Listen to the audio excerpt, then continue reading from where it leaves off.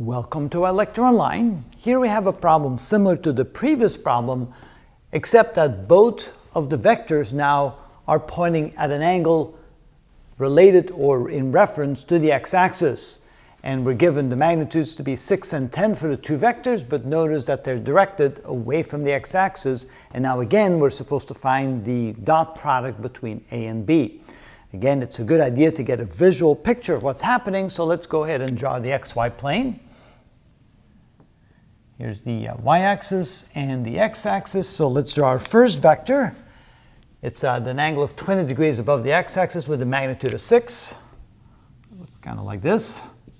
So here's our a vector. It has a magnitude of 6 and an angle of 20 degrees.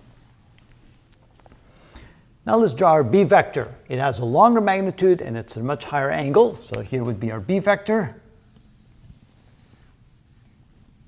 It has a magnitude of 10 and it has an angle of 70 degrees relative to the x-axis. Now we can denote the angle between the b vector and the a vector, and I guess I should put a little line on top so there we can see it's a vector. So here we have the angle now between the two. Let's call it angle theta, and the angle theta is going to be equal to the difference between those two angles, which is 70 degrees minus 20 degrees, which is 50 degrees. So you need to establish the angle between the two vectors.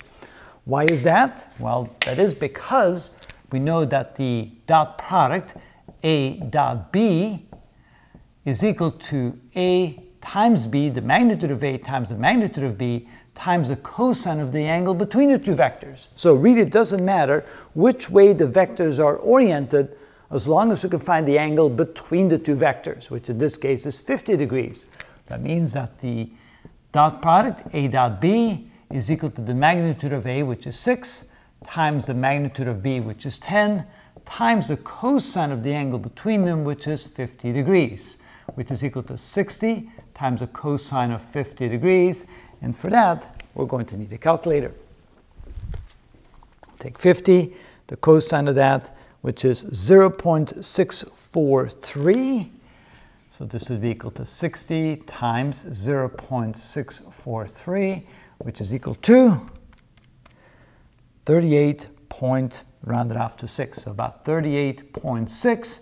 Again, notice that the dot product between two vectors gives us a scalar quantity, no direction, it's not a vector quantity, and that would then be the solution of that dot product. And that is how it's done.